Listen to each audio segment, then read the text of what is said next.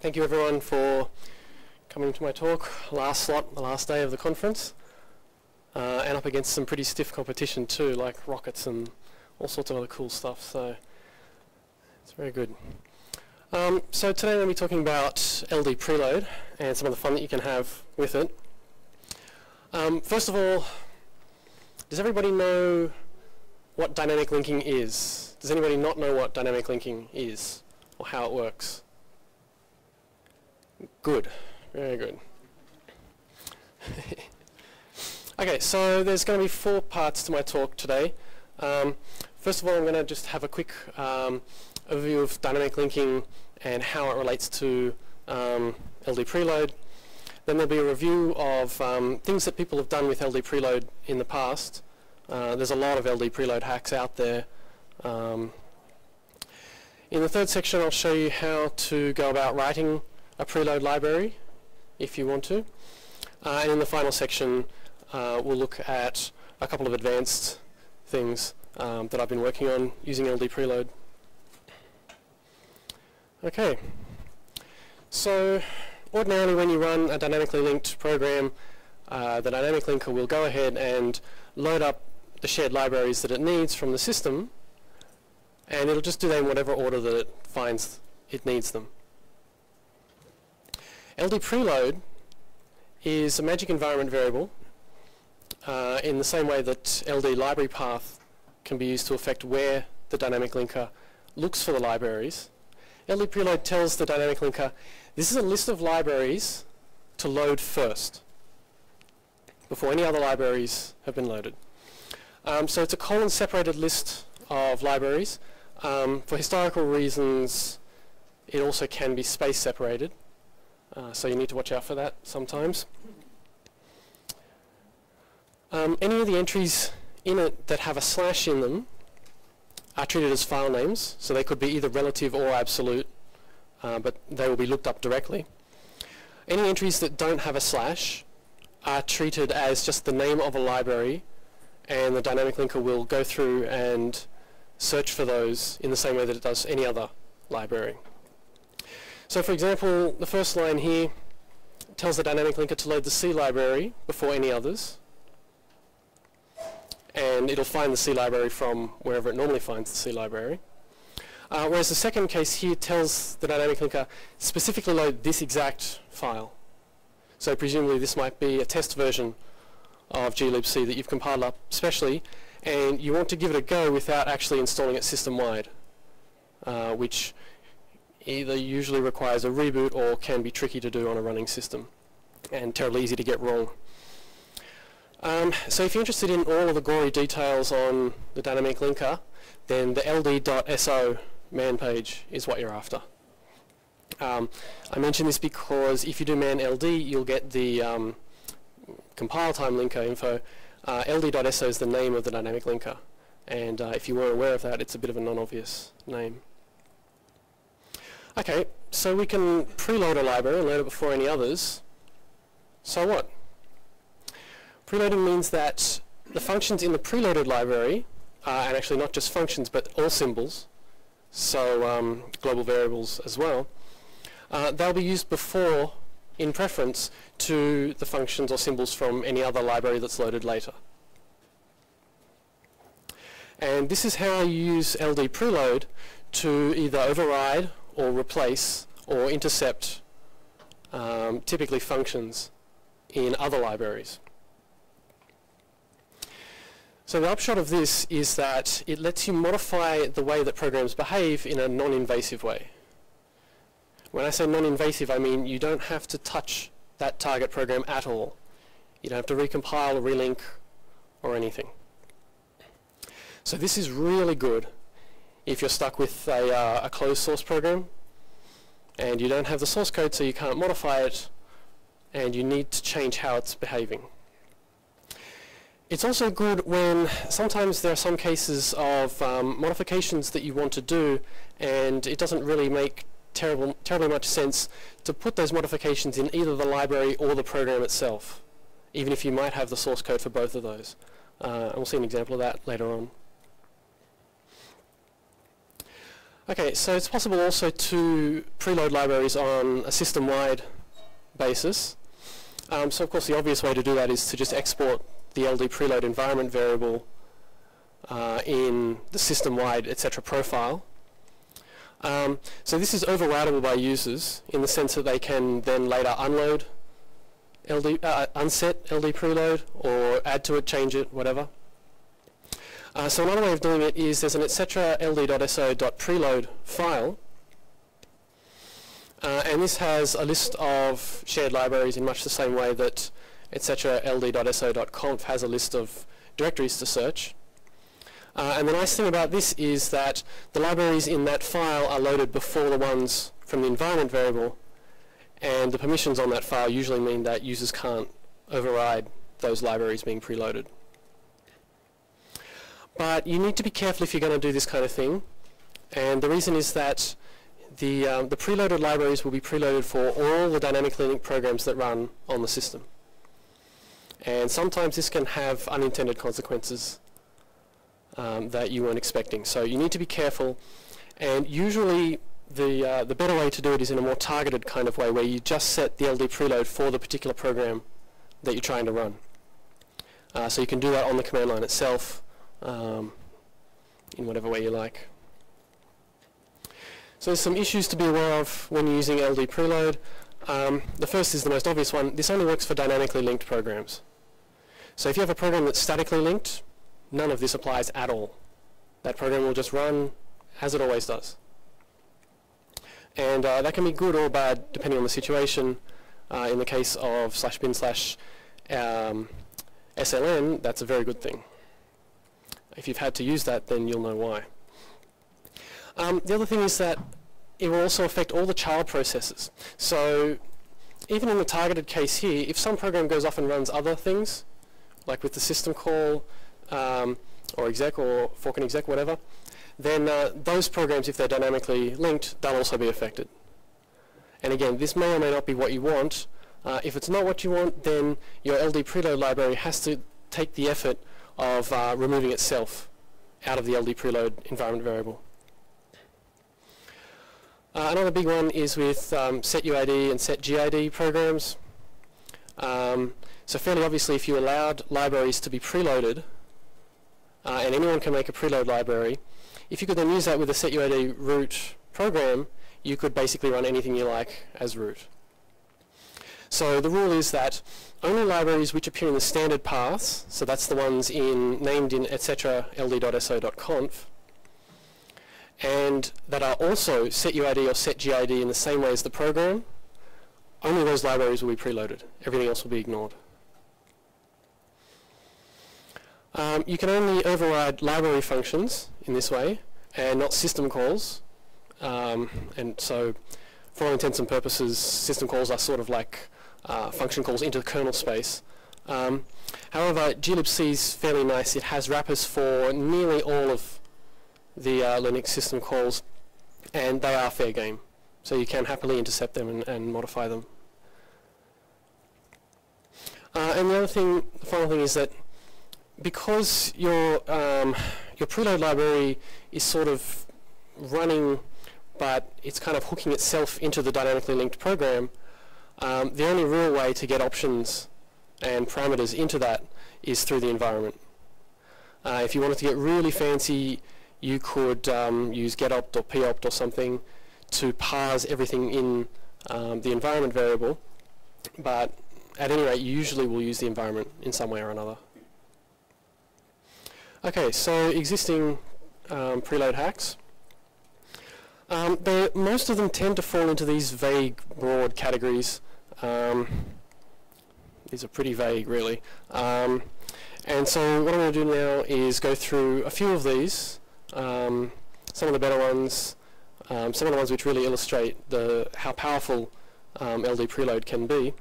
Um, and there's heaps more around. just doing a Google search or a FreshMeat search for LD preload will find you heaps and heaps. So file system shenanigans, playing around with the file system, um, a lot of these were used before Fuse came along uh, and gave a, a, proper solution to this sort of problem. Um, so if you intercept all of the calls in glibc that deal with the file system, then you can change how they act. In this case, when I say deal with the file system, I mean anything that's passed or returns a file name or a path. So things like open, make opendir, and so on. So a good example of this is um, a project called FLCow, file link copy on write. Um, and so what this preload library does is break hard links when writing to files.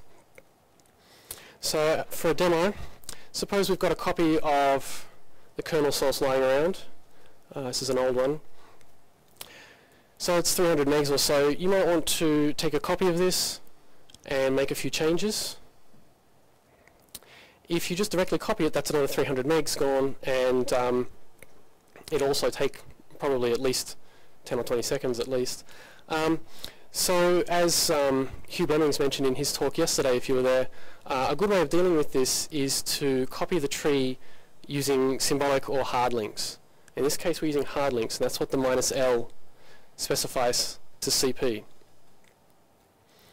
So now we've got two copies, and you can see that this second test copy here is pretty small uh, because it's basically just the spaces for the directories and all the files are hard links back to files in the original tree. So that's, that's good, we've saved on disk space and time. Um, now if we want to update the local version and add dash test in here, for example, um, then we can do that and that's fine, except that because the files are hard linked together, we've actually changed both of them. Because these two files are actually the same file. If we rewind and go back and instead use the FLCow preload library and we pass it, we tell it that we want it to uh, operate on all files under the current directory then now when we go and edit the file we find that it's the change has been made in only this copy of the file and not that one. And the reason for that is that when uh, VI opens the file for writing and makes changes to the file, FLCow intercepts that and breaks the hard link. So it makes a copy of the file so that now there are two separate copies uh, and then the write goes through to one of those as always. Um, so now you can see that we still have saved on disk space. Uh, it's a little bit more now because the file's been copied on write. So that's pretty cool. Um, there's a couple of other worthwhile file system related things. Um, there's a project called PlasticFS which intercepts everything um, and then has a very flexible um, filter system that allows you to go through and um, do all sorts of different things um, to, to the, the file system's appearance.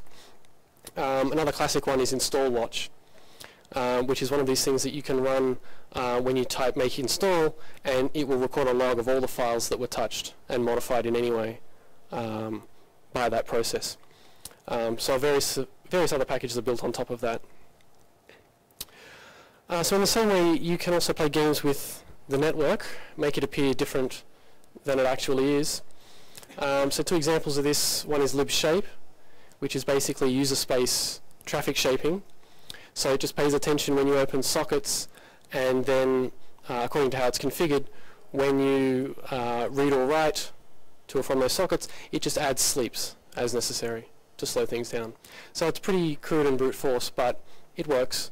Um, and if you're on a system where you need that kind of thing and you can't use a proper kernel space solution, then it can be useful. Um, NetJail is another one which controls how programs can access the network, um, typically by refusing access to it and just returning um, connection refused. Um, there's a variety of things that are useful for debugging and testing. So one thing that you can do is force um, library functions to fail when they otherwise wouldn't. So one example is a project called failmalloc. Um, so this intercepts malloc and variants. Um, and basically there's a, you can configure it a few different ways uh, and they just return null more often than they would ordinarily. Um, and you can see some interesting things with that without having to um, go to the effort of auditing the source code. Um, there's another one, libeatmydata, which um, as the name suggests it's from uh, Stewart Smith who gave a talk the other day on um, eating data and the importance of fsync. Uh, and this library basically just disables fsync and all its friends.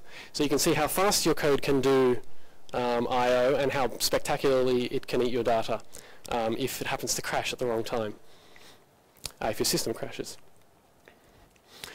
Um, so another thing that you can do rather than forcing failures is to um, watch important functions and pay attention to them. Uh, and there are two good examples of this, Electric Fence uh, by Bruce Perens and Tridge's SegV handler. Um, so Electric Fence has been around for a while, um, and it's been around for a while in LD preload form as well. Um, so basically the idea is when you ordinarily call malloc, you just get a bunch of memory, the size you asked for, you get a pointer back to the start of that. Um, what Electric Fence does is uh, it intercepts those calls, it asks for a little bit more, and these extra bits at the start and the end, it marks them as protected using mprotect, and um, it marks them as uh, unable to be read or written to, basically. Um, so it receives this pointer back here from the real malloc, and then it gives you back this pointer here.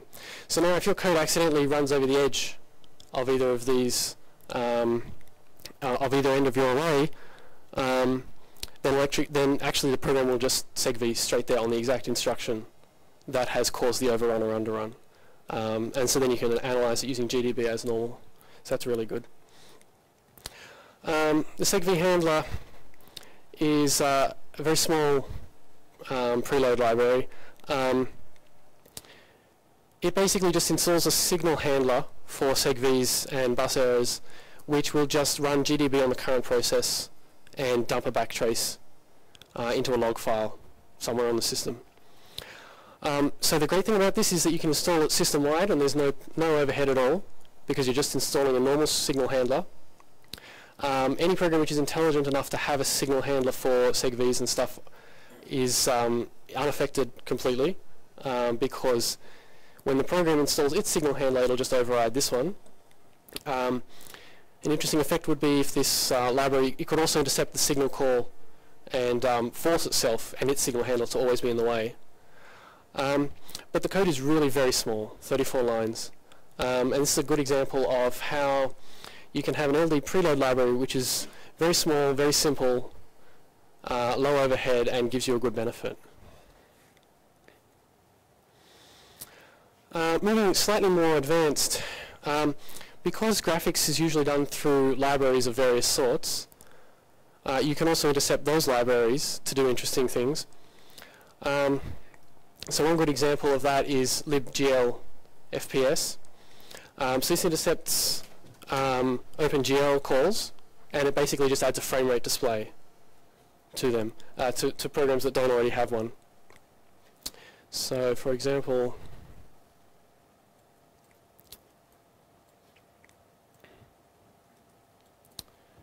okay. So if we run GLX gears, GLX gears, and there's a wrapper program called um, GLFPS, which will set up the uh, LD preload variable, and it just adds the frame rate display in the corner of the window. So you can do the same sort of thing with any GL, OpenGL program. So that's Atlantis from X Screensaver, same, same story. So this is a great example of um, how you can get benefit using LD preload. Um, even though you've got the source code for all of these things, it doesn't really make sense to modify OpenGL to add a frame rate display. Uh, by the same token, you wouldn't want to modify every single OpenGL program individually to do that. Um, and so this library is a good example of um, of the benefit that you can get with LD preload.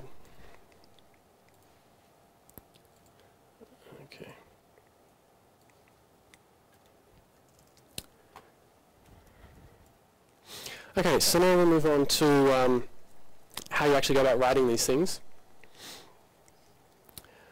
So if you just want to replace functions, then you can just do that by including a function of the same name uh, in your preload library.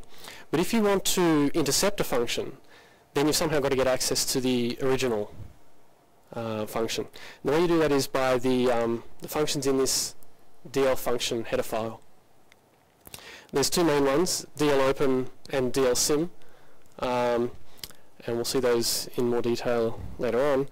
Uh, and you need to link against the DL library, because that's where DL open and DL sym and the rest of them, the rest of the functions are located. So you basically need minus LDL on your link line. So to motivate the problem, um, suppose, and this is a situation that has happened um, to me and others, um, suppose you have some closed source application, it's a multi-threaded application and you're stuck with it. You have to use it, you've got no choice about that, the powers that be uh, decree it. And the problem is that this app is behaving badly. Um, it's looking at how many CPUs you've got in the system and just using that to spawn that many threads and there's no way to stop it from doing that, no configuration option or anything. So we don't want it to do that because we want to run it on a uh, shared multi-user system where each user only gets a couple of the CPUs or cores uh, on the actual system. So we can dig around a little bit with um, strace, ltrace, gdb and so on and eventually we find out that this application is calling sysconf which is a C library function for finding out runtime uh, configuration parameters and it's passing in n processors conf. So it's asking sysconf for how many processes are configured in the system at this point in time. So we want a preload library which overrides the return value of sysconf in this case. So this is an example of behavior finessing um, that I mentioned in section 2. Um, so this library is called libsysconf CPUs um, that's the URL there where you can download it if you want. But we'll go through it now from ground up to see as, as a good example of how you go about creating a preload library. Uh, so we'll have five versions. We'll start off with an empty base project, basically just to show how you use AutoConf and AutoMake to do preload libraries. Um, then we'll add some code for debugging and library initialization, intercept sysconf, adjust its behavior, and then a few extra bells and whistles. So the configure.ac file, this is the first half of it. Um, the first block here is basically just standard generic autoconf and automake setup stuff. You specify the name of the project, the version, a source file, and so on. Um, we tell autoconf that we want to check for a variety of programs, so in this case the C compiler, install, and ln.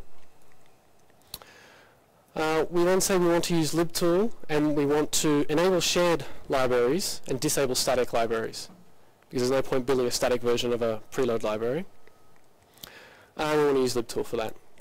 Uh, we then check for uh, standard stuff, standard headers and so on. Uh, and then there's generic autoconf and automake concluding stuff, basically just telling it where your makefiles are.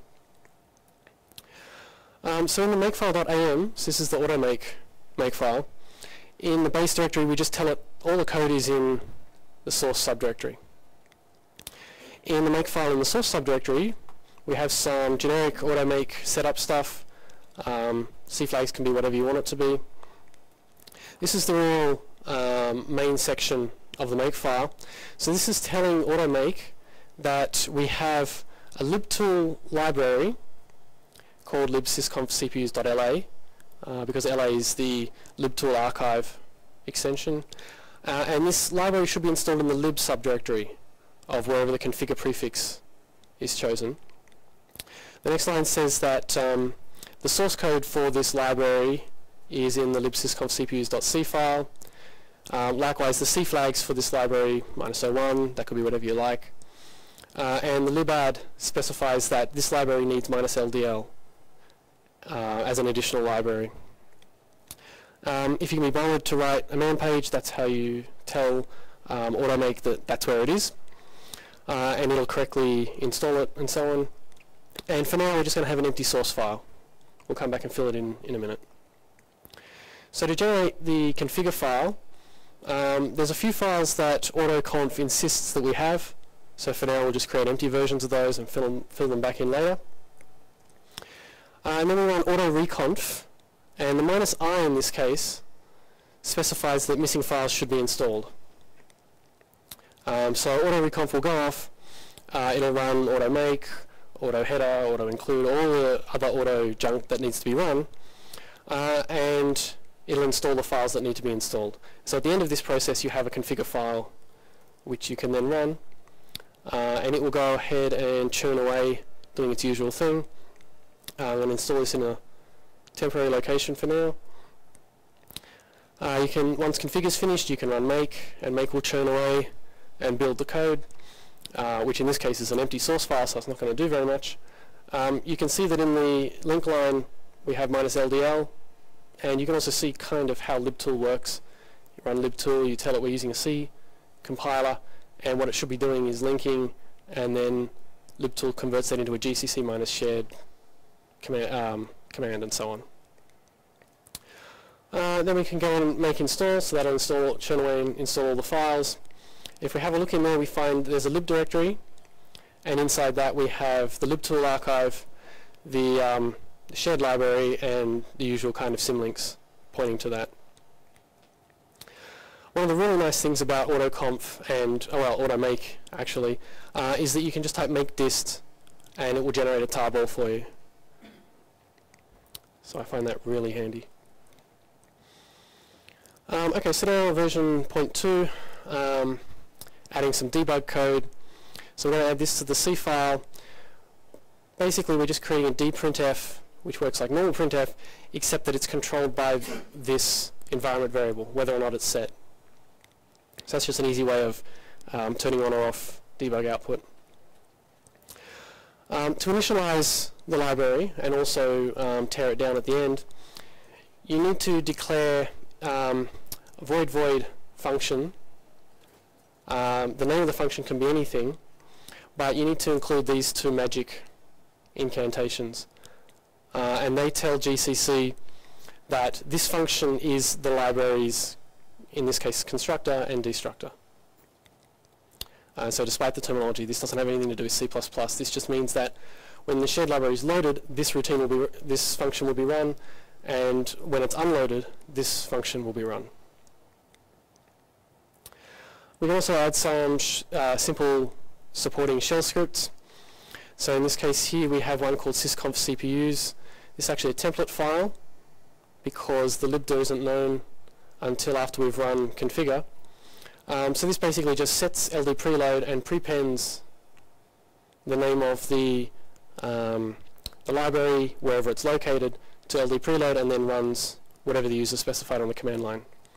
So like the glfps um, wrapper function, uh, wrapper command earlier on. Uh, and the same thing again, but debug also just sets this variable. So then we need to add to the make file um, how to go about building the actual shell scripts from the template ones. So we can define just a simple sed command which will take these um, strings that are surrounded by at and replace them with the real versions. And so it'll do it for all of these, but we're only really interested in libdir. Uh, and then you just have a simple rule um, which tells it how to build sysconf CPUs from sysconfcpus.in, uh, which is fairly straightforward. Um, and in my case, I have the same code for sysconf cpus-debug, and I'm sure you could do it properly, specifying it only once, but I can't remember how to do that in make. Uh, then you also have to tell automake about these scripts so that it knows that they're there and that they need to be built and installed. Uh, so this is how you do it. You specify that you have a script called sysconf cpus. It should be installed in the bin directory and it shouldn't be included in any tarball that's created by makedist. Uh, on the other hand, you do have these template files and they're considered just data. They shouldn't be installed, but they should be included in any um, tarball. And you also want to delete this, the um, script files, the generated script files, when you run make dist clean.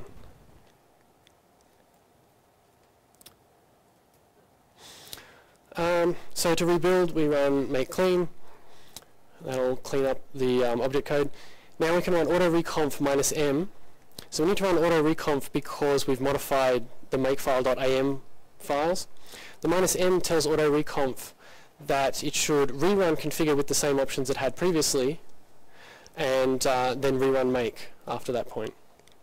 So after this command has run, um, we'll have a fully rebuilt version of the code, uh, which we can then install with make install. If we have a look, we now see that there's a bin directory which contains the uh, wrapper shell scripts. So now we want to actually intercept uh, the sysconf function. Uh, so this is the real, the main action. Um, so the way you intercept it is the first thing is you have to hash include DL function, of course, uh, and then we define a function with the exact same signature as the function we're trying to intercept. So it returns a long and accepts an integer as, a, as an argument. We have um, a static void pointer, which is a handle, an opaque handle to the uh, to the library, and a static function pointer to the underlying uh, function. So these are static. These will remain the same every time this function is called. Uh, then we also have a regular variable for the return value. So the first time we come through, we run dl open. We tell it the name of the library that we want to open, and we also tell it to bind lazily, uh, which basically means that symbols won't be resolved until they're needed. Um, you can also, there are other options that you can pass in that place. Usually, usually lazy is fine, um, and you can check the man page for all the gory details on that stuff. So then we take this opaque handle that we got from dlopen, pass it to dlsym, which will look up the symbol that we specify here in this library. So this will return a function pointer to the sysconf function out of the C library. So then we can call that as usual, um, pass in the parameter we were given, and we get the return value from that same function, which we can then return. Um, so this is without any error checking or debug. Um, of course, if this library can't be found, then this will return null, and we should be checking for that and so on. Um, so that's half of the full code there, which I won't dwell on too much. Um, so now if we test this, recompile as before, reinstall, uh, and then test. So if we run our root application, then we see it's spawning off eight threads, uh, because it's an eight core machine. If we then run it via the shared library, now we can see, and with the debug version so we can see what's going on, we can see the output message from the library when it initializes. Then we can see the application printing out this header here. Then the, um, the preload library is intercepting the sysconf call. Um, 83 is the int that happens to correspond to n processors conf. Uh, we can see that it's got the libc handle from dlopen and the function pointer here to the underlying sysconf uh, to the underlying sysconf function. Uh, it calls it, and the underlying sysconf returns 8, which it then returns, and so we still have 8 threads. So now the idea is we want to actually modify and adjust the behavior of sysconf. Um, so the key thing here is just that before calling the underlying function, we have an opportunity to mess with any of the parameters that were passed in.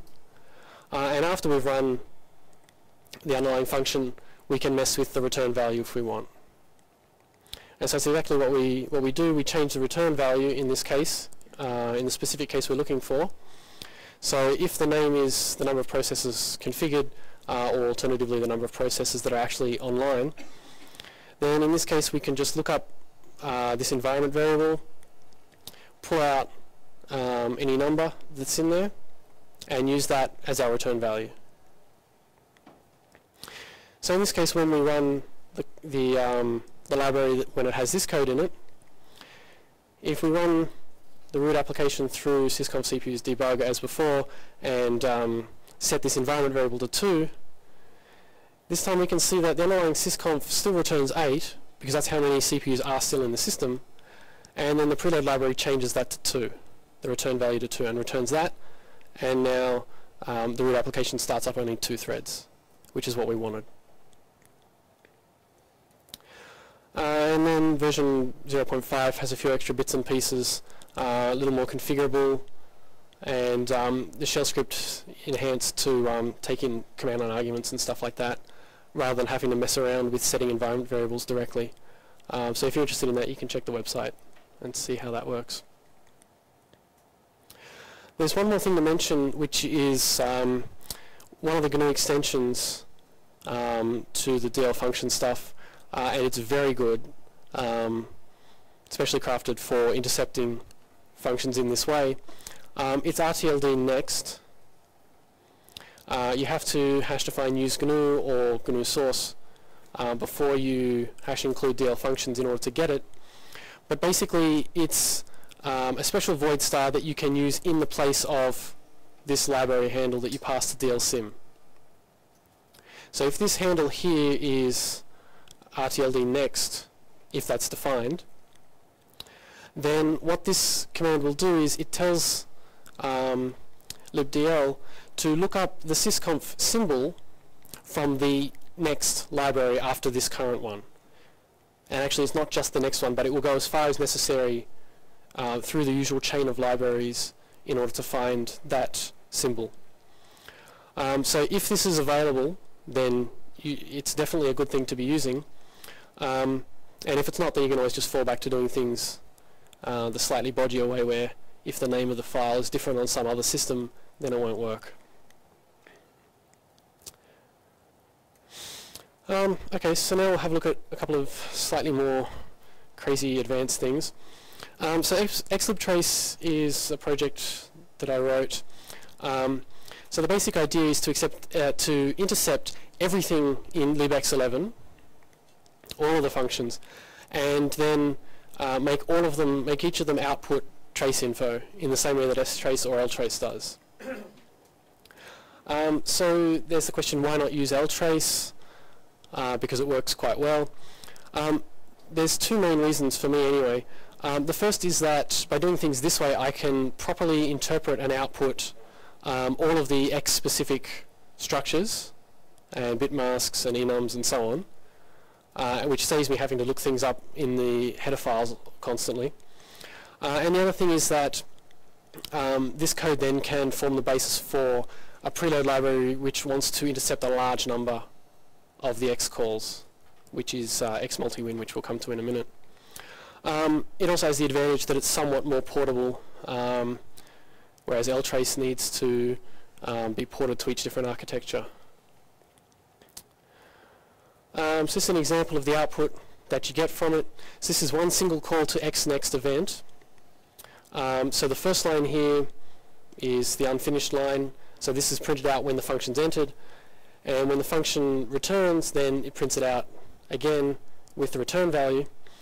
Um, so you can see that in this case, the event that's returned from XNext event, uh, it's a configure event, the serial, the display, and so on. Uh, actually, it's a generated event, which is vaguely interesting.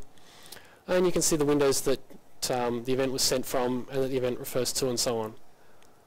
Um, interestingly, you can also see that this program, uh, which is xlogo, is actually recycling its, its event return buffer. So this pointer here is the same, and the previous um, event was a reparent notify event. So um, because all of the functions in the preload library basically look like this, so they all have a function pointer to something that looks like themselves, uh, a return value. They look up the corresponding function, if necessary, the first time through, print out the name of the function, uh, and the parameters, run the underlying one, print out the return value, and then return. Um, so because they all look like this, um, I didn't want, I didn't fancy the idea of writing all of these by hand. Um, so I've used the C preprocessor and awk um, to generate all of this code. So in fact, all of these early lines here are just hash defines.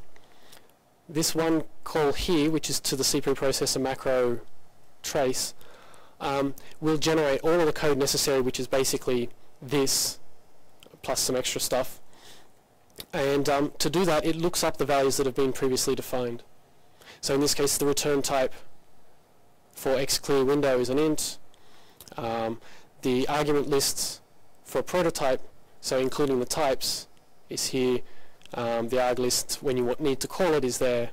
Um, and then um, this this macro here specifies the arguments to print out. Um, so it's just basically a list of the arguments. So there's an awk um, script which will go through the X header files, which mercifully are formatted decently so that I don't have to parse them properly. Uh, and it will output a huge file that looks like this, which when compiled will generate the correct code um, to intercept all the functions. Um, so the only other thing in that case then is to worry about is how to actually print out the specific types. Um, so in this case here, uh, we specify that the problem is that you can't pass things like this, not easily, uh, around in C preprocessor macros. Uh, so we have to define these safe types. So putting underscores and P's and stuff like that. Um, and now we can just specify that to print out an X point, which is a structure, you just have to print out a short X, which is the first member, and then a short Y. And so this macro here will generate um, code that looks like this for printing out an X point. Uh, and you can see that this is done in terms of other print type calls. Uh, and so these are nested down and the, um, the bottom level native types are just done by hand as um, just direct fprintfs. Uh, and so similarly for pointers, so in this case all the pointer functions generally look like this. Um, if the pointer is non-null, then just dereference it. Uh, yep, everything's passed by pointer, so that's why that's not dereferenced. Um, and it should be period. Yep, so it's dereferenced there. Um, and if it's null, then just print out null. And same for lower level um, pointers. So X multi-win is the main reason that I worked on all this stuff. Um, so I have a multi-head setup, um, which is becoming increasingly common these days.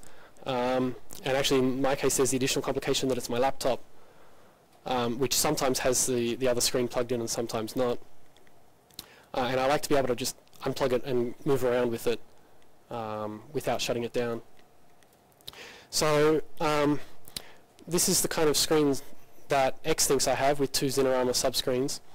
Um, and the problem that I have is that I want some windows shown on both monitors at the same time.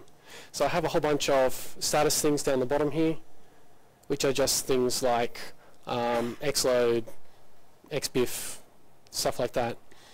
Um, and so I want these status things on both window on both screens at any time, so that no matter which one I happen to be working on, I can see them. Um, and so in the case of these simple programs, I can just run two copies of them. And that works okay. But there's a lot of things that I'd like to do this for, but I can't, usually because they're not simple enough.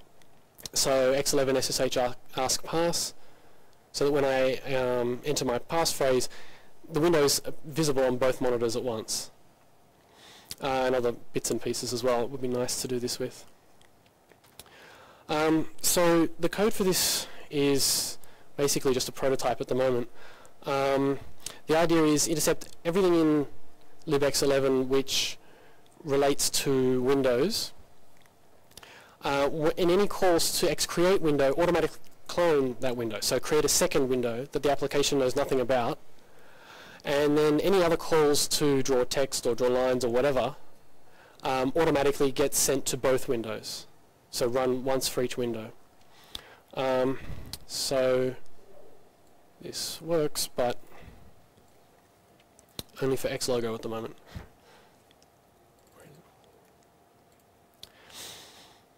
So this is one one process with both logos. Um, and you can see one problem, for example, is the excessive redraws. So the expose events that are happening when I move this window around are actually being reflected by redraws in both screens. Um, so but this is a good proof of concept that it's actually going to work when I go to the effort of putting in all the functions. Um, so this is just a list of some of the fun that needs to be addressed before this will work properly. Um, so that's all I have. Any questions about any of this stuff? I think it's time for a couple of quick questions. Yep. Um, so the RLTD next API is actually a Solaris API. Right, okay. Okay, sure. So um, RTLDD next is a Sol Solaris, was it? Yep. So it's a Solaris thing that um, that glibc is copied. Uh, either way, it's not in POSIX. So, yep, yep. If you wanted a static interception like that, you wanted to intercept one function, intercept another function. Yep. Is it RTLD next that you would use? That, that's the way to do that, yeah. Because otherwise you end up, the second one in the stack will go directly to the source instead of to the next one along. Yep. If you're trying to discipline a uh, closed source program and you don't have the headers to etc., how do you figure out what the correct function prototypes are? Uh, is it calling, so yeah, so it's calling its own libraries that you don't have headers for. Yeah, if they're stripped, then good luck. If they're not stripped, then maybe. Um, I haven't actually tried that. And, and actually, yeah. Yep, yep. You'll get at least names. I don't know how much info you'll get about arguments and stuff. I haven't tried. Yeah. Yep. Other than the incredible fun you can have with LD Predator, which is, if anyone knows about it, it's always the most fun thing ever. Um, is there any reason why you didn't use, let's say, composite and damage um, for doing duplication? Because you would avoid a lot of problems. So, for example, getting, um, if you resize the window on to a different size on the other, because the window manager is going to send fake events, they both get it, then they're going to confuse as to where their actual location is sizes for pop-up menus, etc. So, Uh, yeah, I mean the idea behind that, behind dealing with that sort of problem is that events that are received on a cloned window get translated back to be relative to the original window. Um, so the program will just get duplicate events basically. And so it will- One window's at size X and the other window's size Y.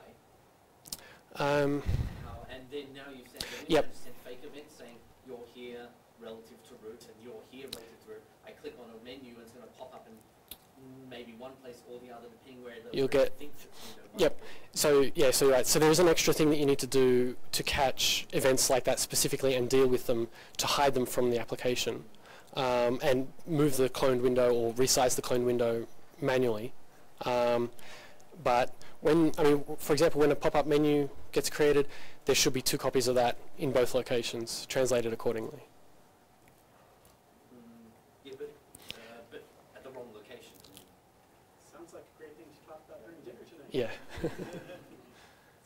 uh, if it's quick. Um, so the only thing I didn't see used, there's a couple of internal GCC macros that will return um, the core word of the function, so that you can get the address with the core word, um, so that instead of just saying um, what arguments were passed, you can actually work out um, who put it. Yep, sure. And that's good for debug info as well. Yep.